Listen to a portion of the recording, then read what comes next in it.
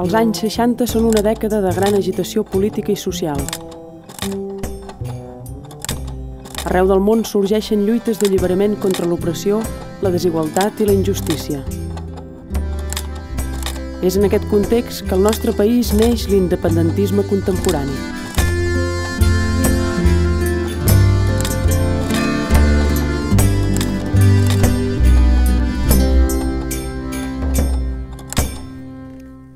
l'última etapa del franquisme, realment aleshores es veu que es necessitarà una força que dongui resposta al, a l'acabament del franquisme i que aquesta resposta ja no pot ser la del Front Nacional, que està com molt connotada d'anterior a la guerra o dels, o dels moments de la guerra, és, està poc rejuvenida. Moltes reunions del front es feien a casa, el Cales, més d'una vegada l'havien, eh, obrir una porta l'havíem localitzat escoltant. I nosaltres el fèiem fora, massa petit, bueno, fora. El PSAN era eh, necessari per, per modernitzar l'independentisme. Eh? I modernitzar l'independentisme volia dir quin és el nostre territori nacional i per l'altra banda el tema eh, de la lluita social eh, i de combat respecte als desafiaments de, del capitalisme. No és que nosaltres ens inventem l'independentisme, però sí que és una renovació claríssima.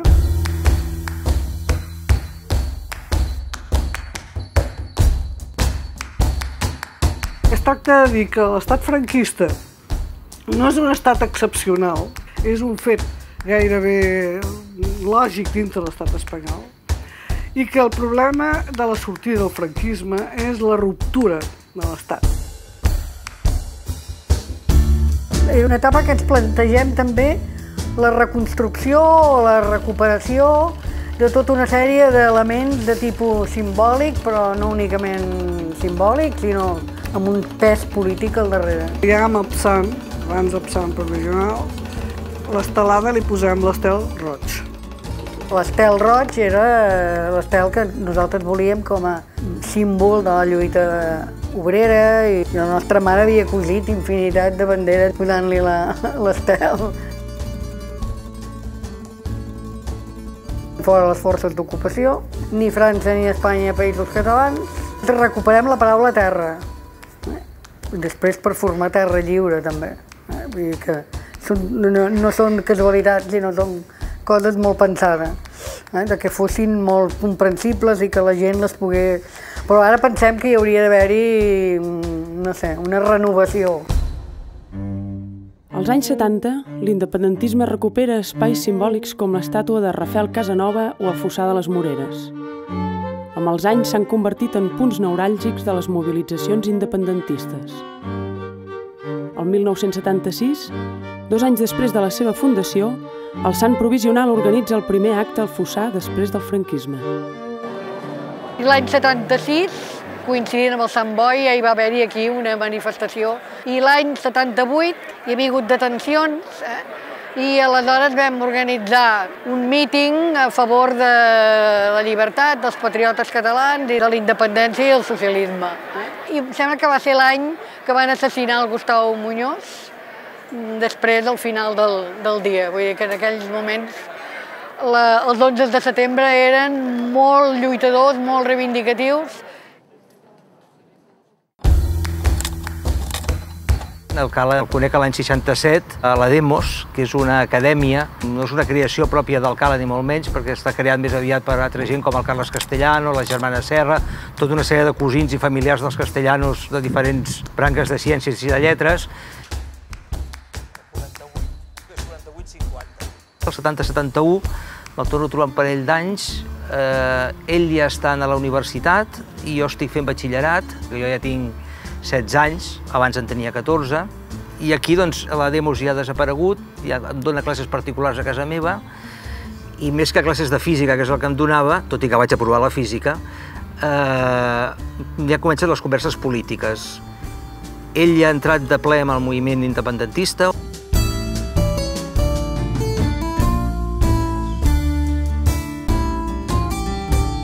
Ja vaig començar una mica la militància a nivell de, de l'Institut del meu barri, era un barri obrer, la Berneda, el Coll del Besòs. Vaig prendre contacte amb el Sant a través de, del meu germà, i llavors aquí vaig fer coneixença doncs, d'alcales i de tota una gent que militaven en el Sant. I després doncs, vaig formar part de tota una arribada de gent jove que va haver-hi eh, amb la creació després de les Joventuts Revolucionàries Catalanes i doncs, la, la creació doncs, del Sant Provisional. L'Institut Infant Isabel d'Aragó estava situat a la Berneda, eh, doncs en allà ens vam anar trobant doncs, un, un grup de gent, hi havia la, la Dolors Serra, que després seria la companya del Cales, eh, la seva germana Antònia, la Imma Tovella, la Núria Ballart, la directora de l'institut eh, era l'Angeleta Ferrer, que la filla era la Rosa Sensat. Era molt, molt maca, no? una dona que, clar, havia viscut la república que tenia doncs, eh, una pedagogia molt avançada per l'època. Sempre patia, pobra dona, sempre patia per nosaltres, perquè deia «Ai, que vindran, que vindrà la policia, que els tenim aquí al davant!» Cap al 73, és clar, jo era molt jove, fèiem muntanya, fèiem eh, algun tipus d'accions culturals al poble, començava a tocar i m'interessava per, sobretot, d'una manera especial per la música tradicional. I enmig d'aquest context vaig anar a patar amb unes xerrades que es feien al poble del costat, a Sant Just, eh, sobre història dels països catalans. I a la, eren tres xerrades. A la primera hi havia un conferenciant que era en Jordi Monés. Llavors a la primera xerrada érem tres que hi vam anar. A la segona érem dos. I a la tercera era jo sol i no va venir ni el mateix Jordi Monés perquè estava malalt i llavors l'organitzador em va dir, home, ja que has vingut, no sé què, per què tal. I bé, resultes d'aquesta aquest, relació amb, amb, amb aquest organitzador del poble del costat, doncs vaig acabar integrant-me amb una, amb una organització que en aquells, clandestina, que en aquells moments doncs, eh, tenia poc temps de vida, que es deia la JRC, Joventuts Revolucionàries Catalanes. Clar, pel que fa als joves, eh, en aquells moments, vull dir, hi havia moltes coses que potser ara doncs, són més òbvies, no? Me'n recordo que llavors eh, vam fer eh, un opuscle petitet que es deia Aprenguem a fer l'amor. Pels joves doncs, els podia ser molt útil en aquell moment, doncs, mesures anticonceptives, de, de, de, de moltes coses aquestes que potser ara ja es donen per més sabudes. No? A poc a poc vas anar veient que el, del que es tractava era de revolucionar la societat, de canviar la societat, de que la catalanitat per si sola doncs eh, era ja estava bé, però no, no, no feia grans aportacions a un canvi social. I ràpidament, en, en poc temps, doncs, vam establir aquí al Baix Llobregat un nucli important d'aquesta organització en un context en el qual tots participàvem d'activitats, que l'Assemblea de Catalunya, diferents assemblees, comitès de vaga, era un moment que hi havia molt moviment, eh, sobretot a nivell obrer al Baix Llobregat i cívic, eh, però que contemplava molt lleugerament el tema, mm, el tema català. No hi ha la reivindicació de la independència, sinó el simple fet de la reivindicació de parlar amb la pròpia llengua. En aquest sentit, hi ha hagut una evolució que sembla gairebé increïble. El Cales va ser alliberat del sant provisional, s'havia cuidat doncs, dels serveis de reproducció, que en aquells moments eren el que se'n deia una vietnamita o una policopiadora amb clixés i etc. Entre la Dolors i el Cales havien muntat tot l'aparell de propaganda. En aquells moments ell estava treballant amb unes arts gràfiques a, a Graó i en allà treballava altra gent, com la Carme Travesset, per exemple, i jo també en aquella època em dedicava a la fotografia. Amb els recursos que teníem, doncs, doncs els feia això, vull dir, primer la lluita es picava mà i es feia amb, amb fricostil i després ja es va anar avançant a poder fer les galerades, llavors bueno, en un moment determinat la Carme podia picar les galerades, nosaltres ho retallàvem amb el cala i ho enganxàvem i fèiem l'original, d'aquí la Carme tornava a treure els fotolits i llavors s'imprimia o a vegades a graó, a porta tancada, amb gent, que, amb gent de grau que ho sabia i gent de grau que no ho sabia. De fulls se'n feien molts. Es feia la revista, es, es feia el lluita, es, es feien de, de la JRC, es, es feien doncs, eh, fullets, opuscles. Una de les coses més importants era entrar al paper, comprar el paper, els paquets de paper per, per fer doncs, els tiratges, era de, de les coses més complicades. I sempre doncs, anar vigilant, que no et seguissin. Fins que el 75, bé, primer vaig tenir una altra detenció el 74, que vaig estar set mesos a la presó, però després, el, el 75, al final, suposo que van seguir. Va ser un diumenge al matí que van trucar a la porta i van dir «Policia!» Ja està. Ja ens havien enganxat. Llavors ja, sabia, ja van entrar hòsties, estaven allà un parell de persones, ja van entrar hòsties i ja se'ns van endur cap a comissaria.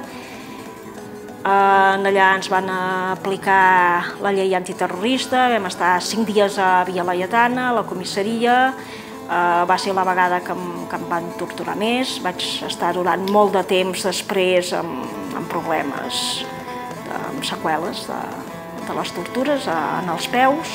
Quan et detenia la policia, eh, doncs la boca tancadeta i, i no dir res, perquè clar, vull dir, si, si començaves a explicar coses, llavors era un fil i es desmuntava tot.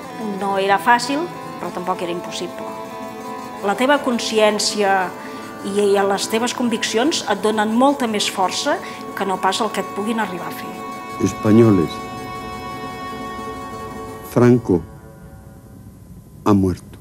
Uh, això era l'octubre del 75, quan va morir en Franco el 20 de novembre ho vam celebrar amb un got d'aigua perquè no teníem cava a dintre de la presó i després ja a primers de, de desembre doncs, vam començar una vaga de fam perquè, clar, dir, en Franco s'havia mort i, i nosaltres continuàvem en allà. Llavors portava a la presó una ordre de monges, que es deien les cruzades. A les preses comuns les consideraven unes desgraciades, però, clar, les polítiques érem el dimoni i no, no podíem contaminar-les. El Cala treballava amb una impremta molt curiosa, que era la Mar Blava, que era d'en Miquel Sallarès. Es feia la feina, que s'havia de fer a l'impremta, però feia molta feina per barris, revistes de barris, eh, etc per, també per una fàbrica de piscines i també, lògicament, tot el que eren comunicats de d'IPC, de l'Assemblea de Catalunya, del que convingués, fins i tot, fins i tot d'ETA en moments determinats. La policia va entrar a regirar aquesta, aquesta impremta i llavors el, es va veure clar que no era bo que el Cala hi continués treballant i per tant vaig substituir-lo a, a Mar Blava continuant fent doncs, el que fèiem. Plegàvem, ens reuníem, decidíem fer una octaveta, en Ben Sopat la redactava a vegades jo mateix, a la nit anava a l'impremta, la imprimia, sortint de l'impremta ens trobàvem amb els companys i la, l'escampàvem i a les 8 del matí ja tornàvem a estar allà treballant.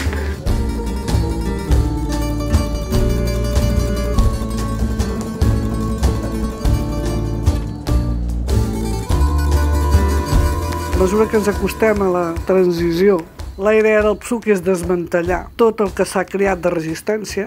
El CALAS forma part d'aquesta etapa de l'Assemblea de Catalunya que pretén sobreviure, continuar, però que ha perdut ja el favor de, dels futurs partits polítics institucionals.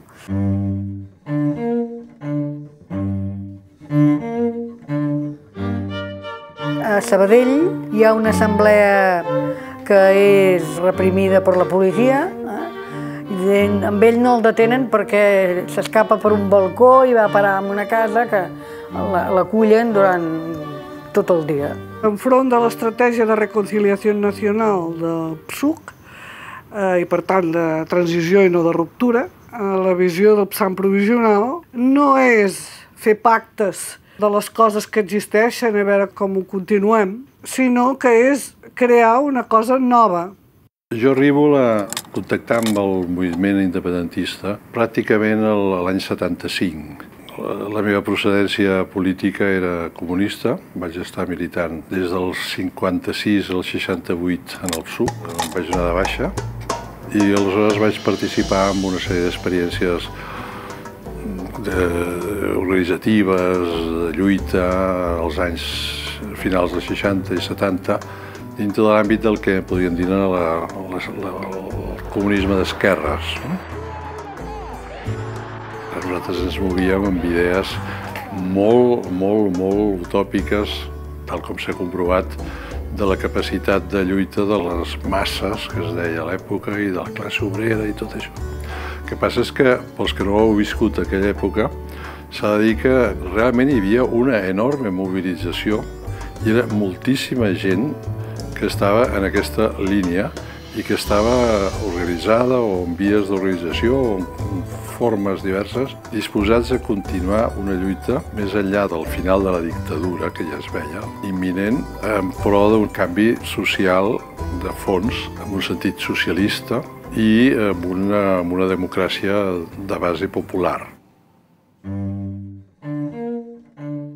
El 1975, el PSAN provisional s'adhereix a la Carta de Brest amb una declaració conjunta a Meta i la Unió do Povo Galego, comprometent-se al suport mutu en les respectives lluites. La Carta de Brest va ser la primera declaració conjunta dels moviments d'alliberament nacional d'Europa. La signaven organitzacions d'Irlanda, Gales, Bretanya, Còrsega, Occitània, Galícia, el País Basc i els països catalans. Aquest compromís es va concretar a Barcelona amb la creació d'una xarxa de suport als militants bascos perseguits per la policia.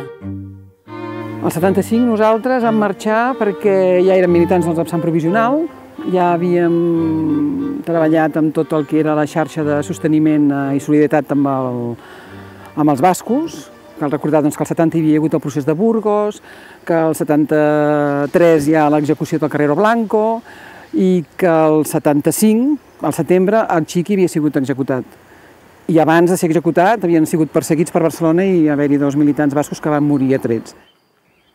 Es va fer una xarxa de solidaritat per buscar-los amagatalls, llocs per poder dormir, eh, sortides possibles eh, per la Muga, etc. Quan eh, els bascos van ser localitzats a Barcelona, nosaltres vam, vam estar molts mesos amagats a Barcelona. Després, com va haver-hi l'execució del Xiqui i tot això, doncs ja, evidentment, va, va ser evident que havíem de marxar. I vam marxar. L'octubre vam passar a la frontera. El sector del Baix Llobregat que érem d'ànima molt muntanyenca, doncs eh, una de les funcions penso que vam fer en aquells moments va ser la de guiatge a través de la muntanya d'uns quants. El Cala, concretament, recordo perfectament el seu pas perillós. S'havien de passar uns quants controls i no hi havia...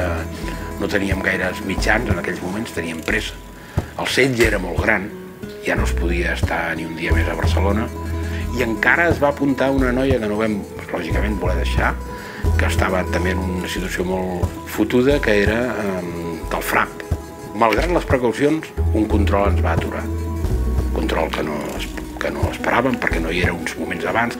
Ens va aturar, ens va mirar, em demanar la documentació meva, jo la tenia en regla, els altres se'ls van mirar, el cal el teníem disfressat de boletaire, absolutament, la cara vermella i un cistell, com si anés a buscar bolets, i amb aquella cara de, de bon noi van dir, bueno, tiren, passen, passen.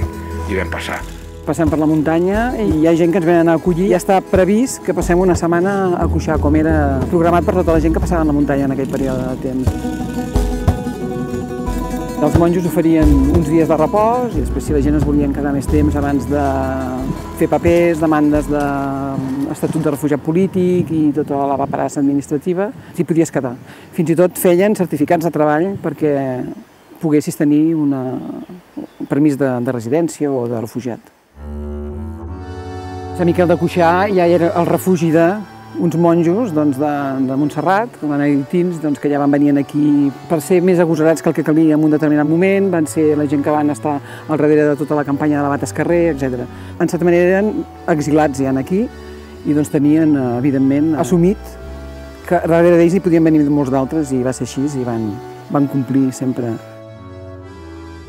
van passar més o menys una desena i després de mica en mica hi ha gent que van anar tornant perquè alguns estaven molt implicats, d'altres eren militants polítics només i que per tant un cop passada la onada repressiva doncs va semblar que ja podien tornar, van tornar i en aquell moment no va passar res, va passar coses molts anys després però en aquells moments no va passar res i ens vam quedar aquí poca gent, de fet poca gent, fins a... Bueno, que demanéssim estatut de refugiat vam ser molt pocs. El CALAS forma part d'un moviment que vam anomenar Comitè Català contra la Constitució Espanyola, que va ser bastant important i que es dedica a, a desmuntar la idea de que aquesta Constitució serà la, la, la democràcia que acabarà amb tots els nostres problemes. Nosaltres considerem que és una Constitució monàrquica, quan no ens han preguntat si volíem o no volíem la monarquia, que és una Constitució que consagra el capitalisme d'estat, eh? que ens impedeix als països catalans tenir un projecte comú, perquè constitucionalment ho nega. Jo crec que el moviment independentista, que era molt, molt jove, va ser l'únic que va dir això no, no funcionarà. I no funcionarà la Constitució i no funcionarà el seu fill, que és l'Estatut. 30 anys o 40 anys després s'ha demostrat que teníem tota la raó, que aquesta Constitució no donava més de sí. Van començar a aparèixer pactes entre aquesta oposició al franquisme i alguns sectors de, que havien recolzat el govern franquista per inventar-se això que van anomenar transició política. Um, en aquest engranatge és evident que l'independentisme no hi cabia de cap manera. El fet de que els partits, el partit polític majoritari de l'esquerra, que era el PC, i el PSUC darrere acceptessin entrar en el joc parlamentari, acceptessin la monarquia, acceptessin la Constitució, no solament l'acceptessin, sinó que l'aplaudissin la, i la, se la fessin seva com si fos la seva obra, pràcticament. Els pactes de la Moncloa, la reconversió de comissions obreres en un sindicat convencional, l'aparició de UGT, tot allò va provocar una davallada d'aquest moviment obrer combatiu i que havia donat lloc a les lluites de mitjans i finals 70, entre la lluita de Roca.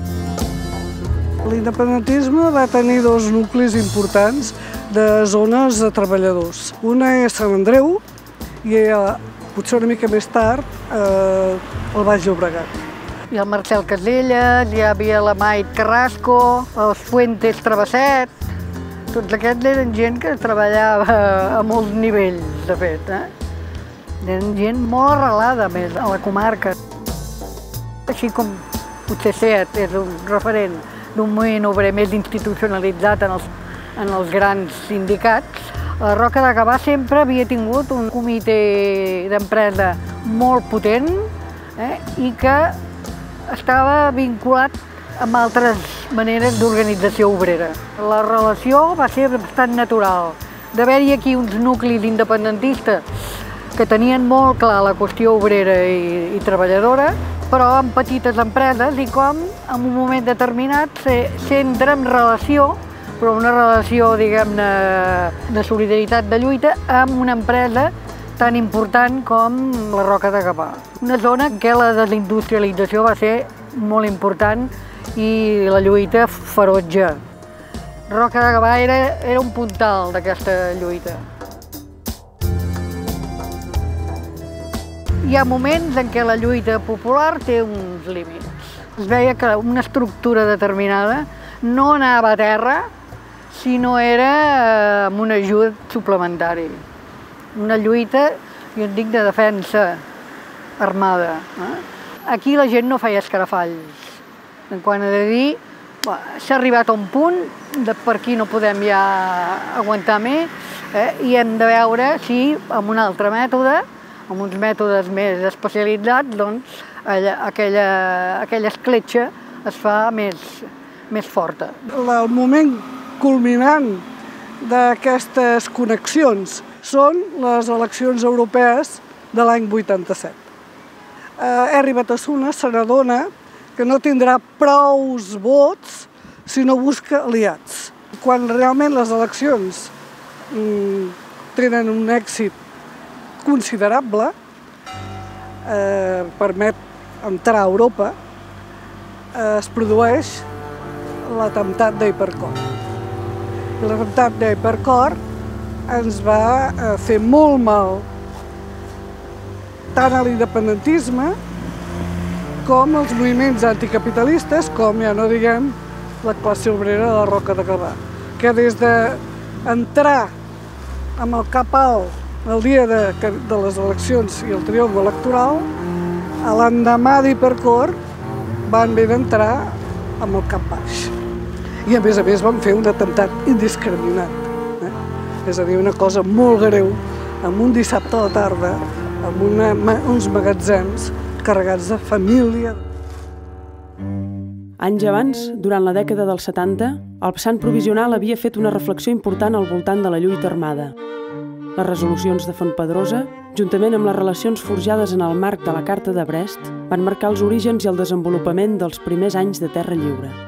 En les declaracions de Fontpedrosa es fa una reflexió entorn de, del que ha de ser el PSAN provisional. Es planteja la necessitat, jo no diria la creació d'un front armat, sinó la, la necessitat de potser en alguna circumstància haver de defensar eh, d'altra manera que la política eh, algun sector. El raonament que ell feia era que el gran perill que teníem era que es consolidés l'autonomia, el, tothom estava encantat de la vida, la Constitució espanyola, la monarquia, el capitalisme més, més feliç que mai, eh, o sigui, que, que es creava una situació d'estancament, de, de, de, de, conformisme. Tenia moltes explicacions, entre elles que la immensa majoria de la gent que havia lluitat contra el franquisme estava absolutament esgotada de lluitar contra el franquisme i com que ells ja van decidir que, que per ells s'havia acabat, doncs van decidir que s'havia acabat per tothom. Per tant, que, que, que intentar actituds de ruptura amb l'estat espanyol o amb la monarquia o amb el capital o amb el que fos, els amoïnava i els emprenyava. El perill de que això es consolidés per 30, 40 o 50 anys, això estava claríssim. I que, per tant, calia un element com un despertador, un element provocador que obligués a comprovar que, que, que no tothom estava disposat a, a conformar-se i que la lluita continuava. L'agost del 78, Dolors Serra és detinguda i posada en presó preventiva per la seva implicació en la xarxa de suport a militants d'ETA.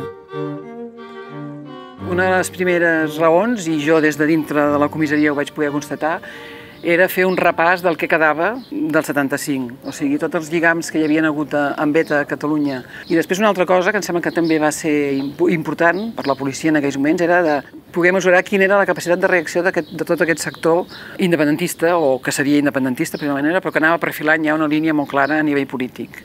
A la mesura que la policia és conscient que tard o d'hora es formarà un grup aquí, la repressió comença pràcticament abans de que tu comencis. Veiem que hi ha diverses iniciatives, unes probablement més polititzades que altres, i d'altra banda, la presència de sectors d'ETA a Catalunya, que nosaltres els hem ajudat a passar muntanyes i a, i a, en certa manera amagar-los i, a, i ajudar-los, però que considerem que aquest no és el seu territori.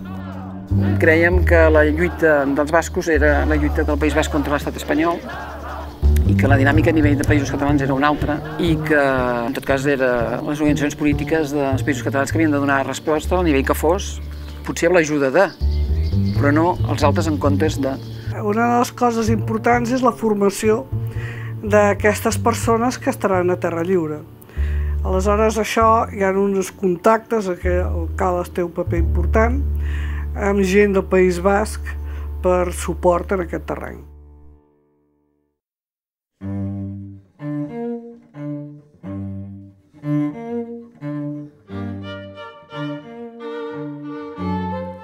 L'any 79, el PSAN provisional activa l'embrió de Terra Lliure. En les primeres accions armades moren els militants Martí Marcó i Fèlix Gonyi. També es produeixen diverses detencions, com la de Quim Pellegrí, mentre que Dolors Serra i Alcala aconsegueixen fugir per segona vegada a la Catalunya Nord. Aquest mateix any es creen els comitès de solidaritat amb els patriotes catalans per donar suport als represaliats d'època i de la futura Terra Lliure. En els començaments doncs, de Terra Lliure es va mirar molt de conservar diguem aquesta, aquesta filosofia, si es pot dir, o aquest plantejament polític, per no caure en el militarisme, perquè a més a més doncs, bueno, el País Basc estaven passant coses també amb els zetes militars, polimilis i tot això, i d'anar molt paral·lelament amb el, amb el que era el moviment polític i les primeres accions es van fer molt lligades amb això, amb els atacs a, a empreses elèctriques per donar doncs, suport a les campanyes antinuclears i després en la qüestió de Jiménez de Santos, quan hi va haver el manifest del 2300, etc fer-ho molt entenedor, de manera que la gent trobés, eh, se sentís reconfortada pel fet de que hi havia una gent que lluitava, estaven disposats a, a fer soroll, però sempre dintre, integrats dintre d'un moviment de, de lluita preexistent i no a través d'accions d'avantguarda quan els que quedem d'època doncs, entrem en contacte amb els primers nuclis del que seria Terra Lliure, es considera que jo he de venir a Catalunya Nord. Fem un pas de muntanya molt, molt accidentat, perquè va ser el gener del 81 amb una gran nevada. Vaig venir a parar a Perpinyà, a casa d'en Josep Serra i de la Dolors Serra, a casa d'en Cala. Aquí estem ben bé a la frontera. Estem en una mena de cap que entra dins la mar, d'un costat i l'altre és platja, és ben bé a la frontera i que segueix tota, tota la cadena tota la cadena de les Corberes. Els joves que l'estructura de Terra Lliure considerava que calia, calia formar, doncs els eh, venien a passar un cap de setmana en aquest lloc, concretament era el lloc que havíem triat, entre d'altres, per fer les pràctiques sorolloses, diguem.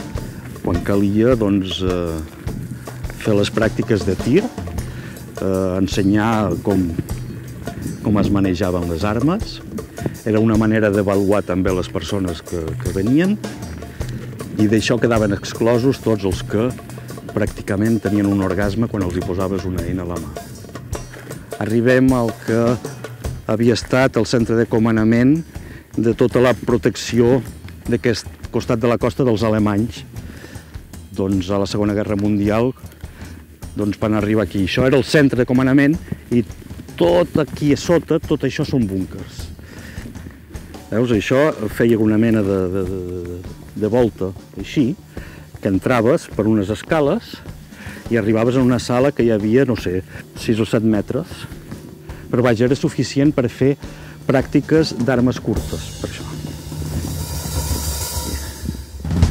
Hauríem de tot, a tot preu evitar que una organització armada esdevingués un exèrcit desvinculat absolutament de, del que era el moviment polític i el moviment social. O sigui que de cap manera es, podia, es fes una militarització de, de, de, de l'organització.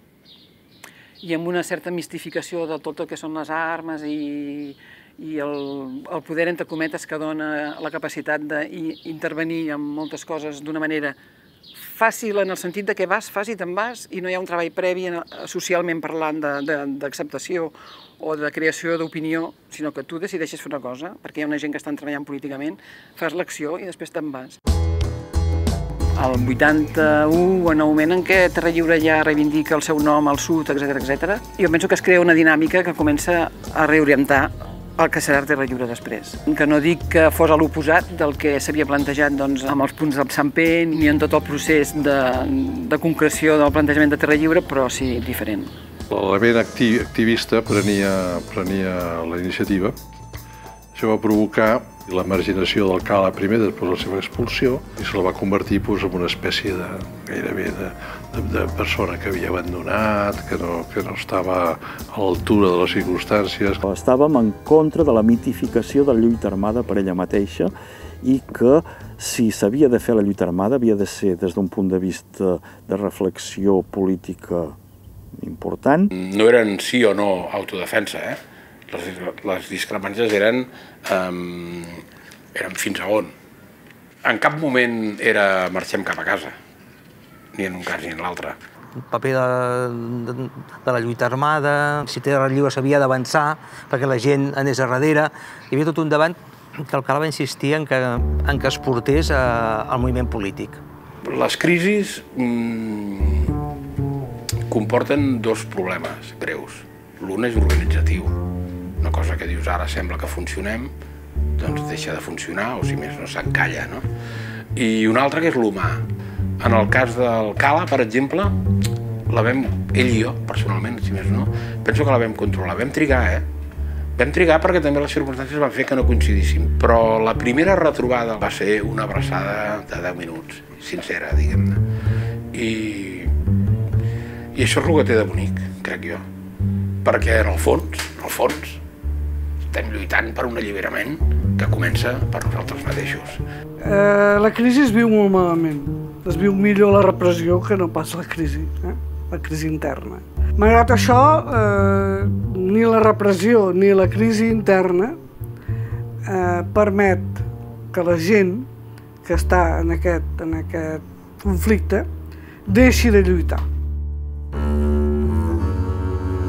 L'any 75, la primera vegada que s'hi refugien, Alcala i Dolors Serra creen uns estrets lligams polítics i personals a l'altra banda de l'Albera. Al 79 han de marxar novament a Catalunya Nord, aquesta vegada, però, de manera definitiva.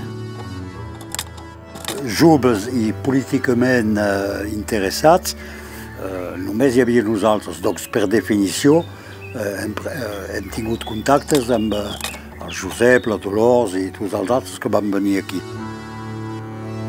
Hem creat el Socors Català, era un moviment nord-català amb gent de dret i gent d'esquerra, ho cal dir, que van acollir la gent que, que venien aquí com a casa seva.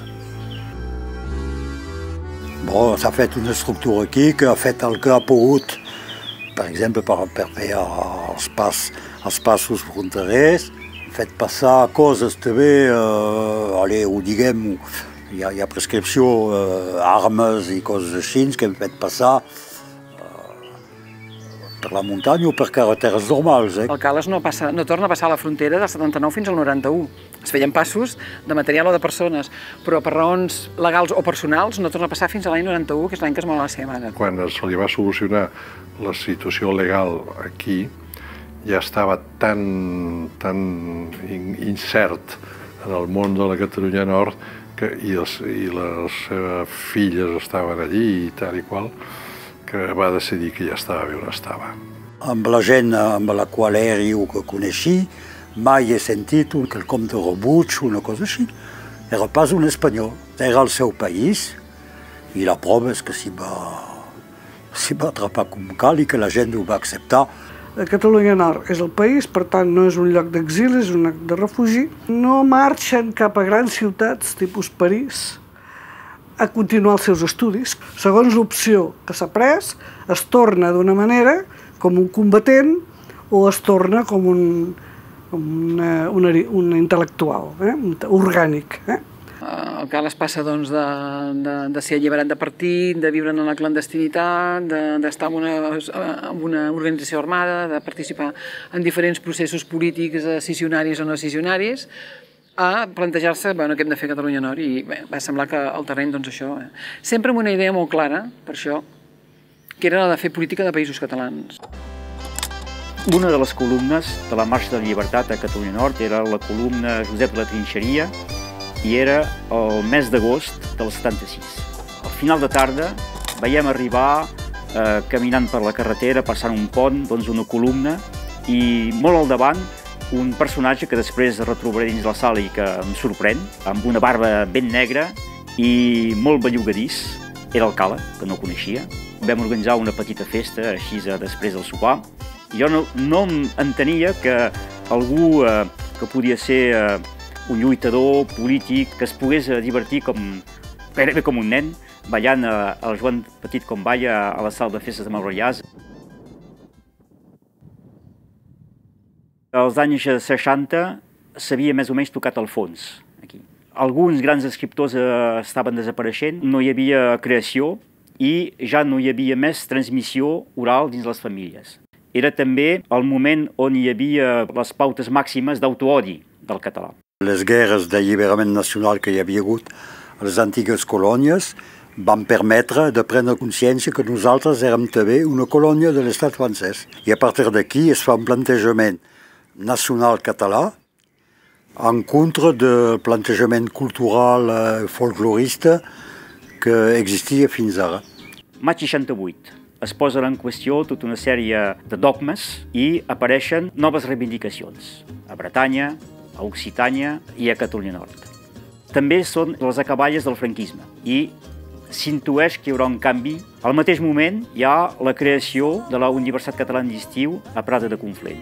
I al mateix moment es dona a conèixer, traspassant la frontera, la nova cançó catalana i aquí també comencen a sortir eh, joves cantants que eh, s'acolleixen en un moviment anomenat en aquell temps Nova Cançó Russionesa. La gent caminava amunt i avall, la gent corria amunt i avall. I és la conjunció de tots aquests fets que eh, afavoreix l'emergència eh, d'una nova generació que es dediquen a la promoció de la llengua i la cultura i ràpidament eh, també amb una acció de tipus eh, més eh, reivindicatiu, social i, i polític. A Catalunya Nord, el 1977, un grup de militants d'Esquerra Catalana dels Treballadors crea l'OSAN, l'Organització Socialista d'Alliberament Nacional. Dos anys més tard, a Rià, s'unifica amb el Sant Provisional per donar lloc a independentistes dels països catalans, la primera organització amb presència al nord i al sud dels Pirineus. Març del 79. El 79, només posar això, era molt eh, gruixut. Parlar d'independència era com parlar d'anticipació, de, de de, en l'esperit i pas en l'actualitat com avui.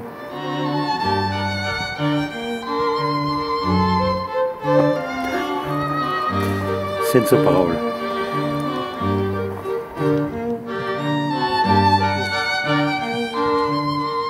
Havíem donat cita a tota la gent que volia de venir aquí. I n'hem tingut de gent. Tant i tant que hi havia el que a l'època se cuidava del socors català, amb de l'oncle, que era de dreta, i que al cim de l'antic castell aquí va veure pujar la gendarmeria francesa i va dir eh, als gendarmes aquí teniu el, nou exèrcit d'alliberament de, de Catalunya i els gendarmes van quedar eh, així, comprenien pas probablement. I l'home era de dreta, és això que era terrible.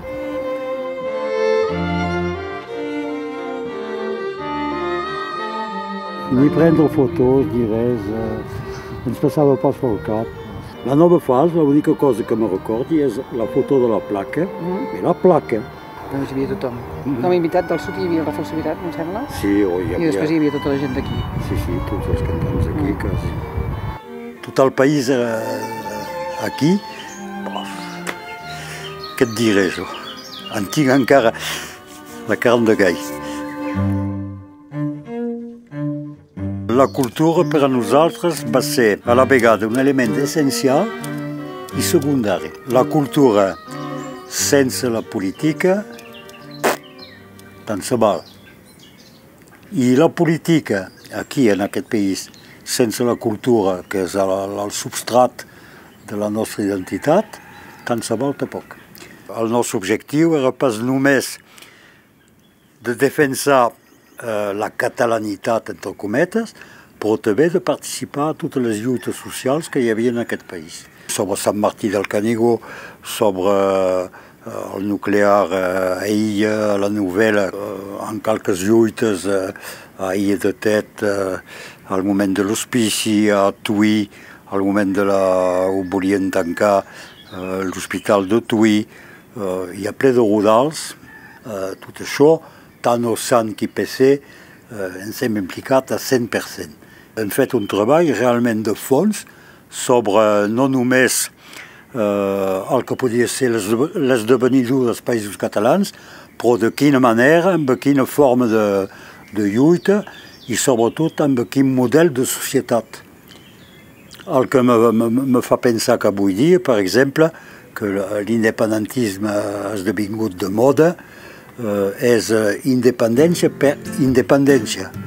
I després eh, t'adobes.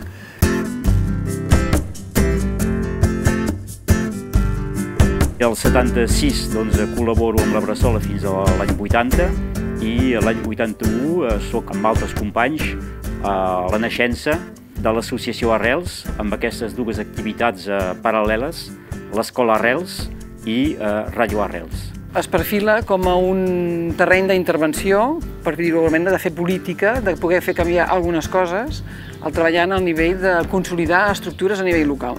Quan hem dit fem una escola o després fe, i fem una ràdio, no ho fèiem per fer una escola i una ràdio. En primer lloc és tenir una eina al nostre abast per eh, fer passar dins la societat d'una altra manera un cert nombre de conceptes. Vaig viure tota l'aventura de, de Radio Arrels al mateix temps que feia mm, les nostres tasques organitzatives i de militància a Terra Lliure i durant dos anys, per mi, era exactament la mateixa militància. Podríem dir que l'associació Arrels, sense eh, aquesta aportació fundacional de militants d'aquest sector del catalanisme a Catalunya Nord, potser eh, no hagués prosperat. Paral·lelament, eh, ens, ens vam integrar i el CALAS d'una manera molt activa en el Centre Cultural Català. Als anys 70, Pere Figueres, un republicà exiliat i supervivent de Mauthausen, funda el Centre Cultural Català a Perpinyà. En aquest espai, que agrupava nombrosos refugiats del 39 i nord catalans, hi van néixer projectes com la llibreria As de Bastos o Ràdio Arrels. A partir de l'any 2002 s'incorpora a la xarxa de casals Jaume I. Ell es donava a fons eh, dins una acció o bé dins una associació, però mai eh, volia ser el cap visible, enganxar-se medalles, eh, tenir un càrrec. I el vam forçar per eh, que n'esdevingui el, el president i em demano encara com ho va acceptar. La gana de, de fer conèixer la nostra idea, la nostra convicció, es va traduir eh, la creació d'una revista satírica que se'n deia El que va durar 17 anys per això. Ens va permetre d'una manera incorrecta, però políticament correcta, de fer passar no només les nostres idees, però la crítica eh, permanent de tot el que es movia en aquest país. Per fer passar una idea és la millor manera. El seriós mata el seriós. Una reunió del FISO, per exemple, era un àpat. Bon menjar, bons vins, el Cal era un especialista dels bons vins, un company que m'invita a, a un casament i que m'envia una carta en català, eh, li vull respondre que sí, que hi puc anar, que molt encantat, però d'aquest dia m'ha d'unir que sóc analfabeta, és a dir, que si sé escriure una llengua forastera com és la llengua francesa, no sé la meva, no sé escriure en català i aquest dia vaig començar a a cursos de català. Vam anar a instal·lar-nos a, a Bou, al vilatge on vivia el Cali, i a partir d'aquí hem començat de, de muntar una associació o de muntar un acte que donaria més tard a aquesta associació que es coneix avui com a Aeronou. I és aquí amb ell, a costat d'ell, que, um, que la meva consciència catalanista llavors s'ha despertat realment, que ha avançat, que ha fet un pas endavant. Em deia que al sud era important per nosaltres perquè era la prova que érem pas francesos, com nosaltres som importants per al sud, que és la prova que al sud sou pas espanyols. A Llornou de Bou neix amb uns cursos de català, una iniciació a la sardana i poca cosa més. Dins un poble de llavors 2.000-2.500 habitants hem tingut 150 socis. Però ens adonem també que dins d'aquesta associació falta als 15-35 anys i és aquí que el Cala té una idea genial que diu podríem fer una colla castellera. Una idea genial perquè ni sabia ell què eren els castells ni cap de ningú al voltant de la taula.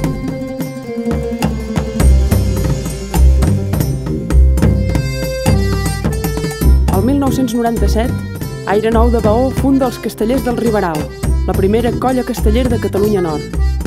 Actualment ja n'hi ha tres. La més nova, els Pallagos del Conflent, que va carregar el seu castell de bateig l'octubre de 2012, durant el 17è aniversari d'Aire Nou. Som una de les poques colles, segurament, que hagi fet un pilar a la Porta Salsa, que hagi anat a fer un pilar a Guardamar, i d'haver anat a fer castells a Eivissa, a Mallorca. És una entitat que va, no fa castells per fer castells, sinó que hi ha realment una idea de, de país. Eh, de país amb tots els compromisos locals, és a dir que és impensable avui anar a celebrar el 14 de juliol. Anem a nos passejar a través dels països catalans cada any per eh, mirar de, de no sentir ni marsellesa ni veure tantes banderes tricolores com se'n pot veure aquí, anar a fer festa a fora i a encontrar gent i, i a passar-nos-ho bé. L'any 2000-2001 es concreta també amb els lligams amb la coordinadora d'associacions per la llengua. Ens incloem en l'activitat del Correllengua fent acabar tots els correllengües de, del Principat a, a Catalunya Nord, fent-ho coincidir amb la data del 7 de novembre. És una data que es revitalitza en aquell moment, que ja s'havia celebrat amb un comitè 7 de novembre que s'havia creat durant els anys 80. Arran d'una reflexió eh, va sortir, eh, podíem commemorar eh, la data del Tractat dels Pirineus. Vam organitzar un cicle de conferències eh, sobre la història de Catalunya Nord per recuperar la història de Catalunya Nord i també hi van col·laborar la, la germana Serra.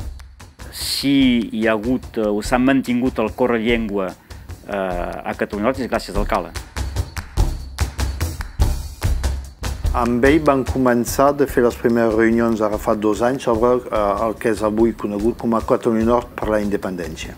Ell tenia clar que havíem de parlar d'independència que n'havien de parlar, no pas per fer un referèndum a Catalunya Nord demà, no, però per obrir un debat, un debat obert a la societat. La NEST des del començament es va crear una secció a Catalunya Nord amb un objectiu bàsic, a mi em sembla, la gent que hi han treballat, que és de que Catalunya Nord estigui present en aquest procés. Un estat català no pot oblidar-se de la resta dels països catalans. Aquest plantejament independentista, sense tenir en compte tots els altres aspectes a nivell social, és un procés eh, inacabat. Mobilitzacions així ens serveixen per dir que, que hem de carregar bateries perquè tot està per fer.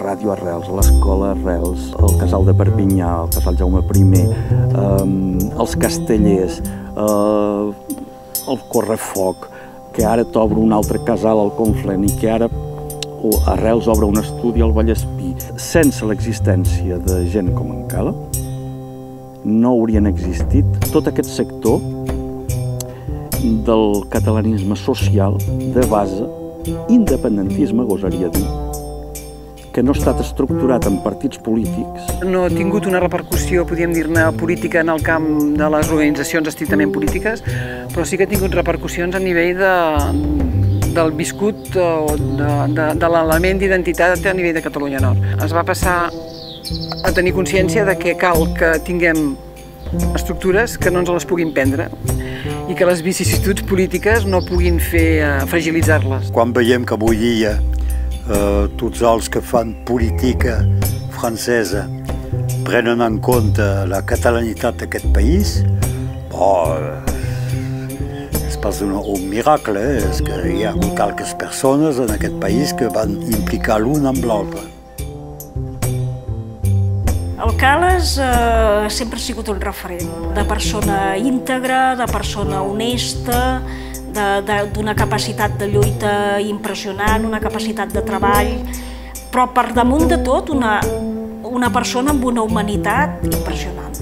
Sempre l'he conegut militant i sempre l'he conegut humà, molt humà i molt militant alhora. I això es veu poc. Aquesta fidelitat al país, però també a les persones del país i als seus amics, podia fer que un, a més d'una manifestació aparegués un, un company que li digués que estava molt malament perquè l'havia deixat la nòvia i deixar-me la pancarta a mi i dir tu continua amb la pancarta que jo me'n vaig a prendre una cervesa amb aquest company. Renúncia, eh, manca de fidelitat a, a la manifestació, al contrari.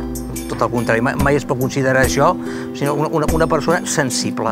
Era un enamorat de la vida, eh, li agradava s'ho passar bé, li agradava viure bé, menjar bé, beure bé, eh, s'ho passar bé amb la gent. Era una persona que estimava molt la gent. Quan decidia que s'havia de fer una cosa, o la feia ell o cercava mitjans perquè es fes, no decidia res tot sol, tampoc.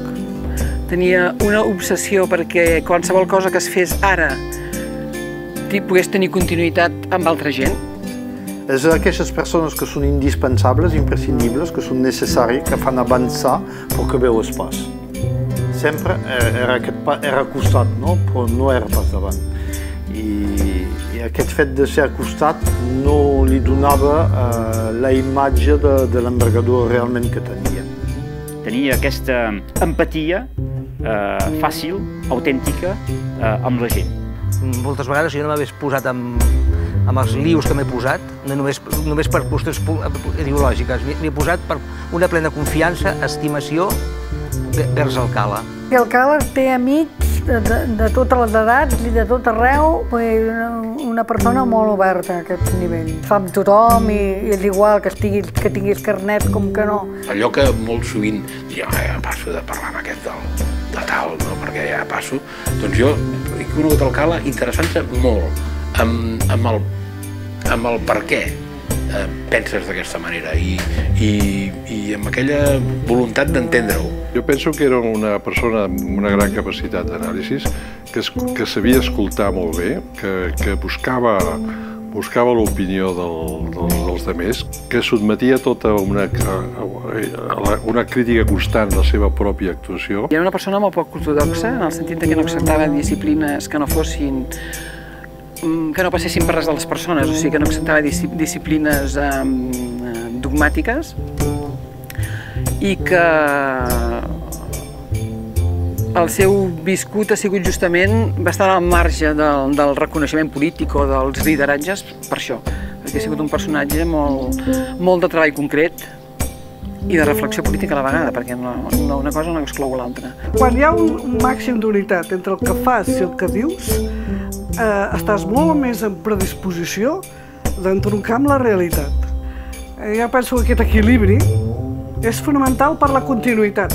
Si no tens aquest equilibri, segur que hi ha un moment determinat que perds el cap i no, te, no pots continuar. Mai hem tingut tendència a tancar-nos en una closca per dogmatisme i per vocació de marginalitat. Un aspecte important de la intel·ligència humana és l'adaptació, que no vol dir el conservadorisme, sinó eh, l'adaptació per continuar lluitant i per seguir endavant. El mateix Cala eh, probablement sigui tan important la, la seva vinculació als orígens de Terra Lliure com la seva vinculació amb els orígens de, per exemple, doncs, la colla castellera de Baó. L'última fase de la seva història doncs, és molt de cara a l'activisme polític, polític i cultural, vull dir, tot plegat. Jo crec que moltes coses de Catalunya Nord no s'entendrien sense la presència d'ell i, i de la Dolors, eh? perquè mm, són una parella molt, molt, molt unida,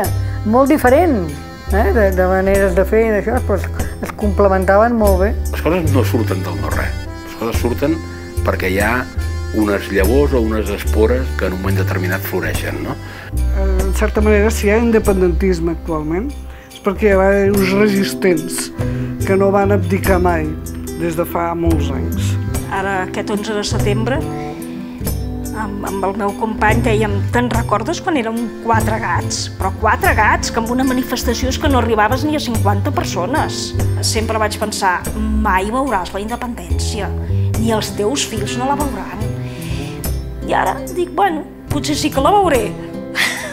I potser sí. Això no vol dir que quan tinguem la independència doncs ja tot siguin flors i violes. Llavors, potser llavors doncs, començarem a tenir la feina de debò. Ens vam passar tota una tarda junts, parlant, i ell deia, és que hi ha, queda molta feina per fer, queda molta feina per fer. Jo li deia, hòstia, cala, tu, que ja has fotut la teva feina. Tu, a veure, tu, posa't bo ara, tot això. No, no, hòstia, és que hi ha tantes coses i és que, és que està arribant fins al darrer moment en Cala tenia ganes de ser-hi, tenia ganes de, de, de participar-hi. No hem tingut eh, mai, i el Carles no tenia absolutament gens, consciència d'estar visquent eh, res de especial, transcendental, eh, no volgut. O sigui, en cada moment es decidia el que s'havia de fer i es feia, o no es feia en funció de les possibilitats de cadascú, però no, sense cap mena de consciència de, de, de fer història en aquell moment. És una persona molt important, segur. I d'aquí uns anys potser ens adonarem de tota la importància que ha tingut Hi ha tota una generació de l'independentisme català que ha estat sacrificada a nivell de la memòria col·lectiva. Vull dir, cal recuperar la memòria històrica d'aquests patriotes que han arriscat més personalment que no pas els que potser un dia proclamaran la independència.